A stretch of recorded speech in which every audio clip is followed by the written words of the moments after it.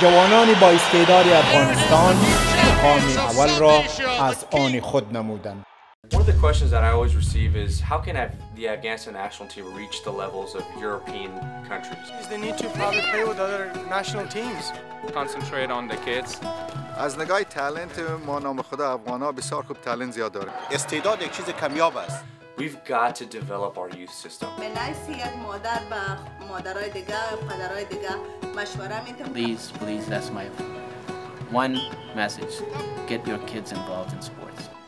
با اندک تشویق با اندک حمایه و ترغیب اینا رای خود می یافت او همدا سبب دی چې د بی ایریا ځوانانو خپل هلو ځلو ته دوام ورکوي تر څو وکولای شي د افغانستان د ملي ټیم سره خپل همکاریو ته ادامه ورکړي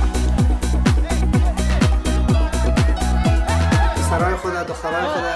و تیم ملی افغانستان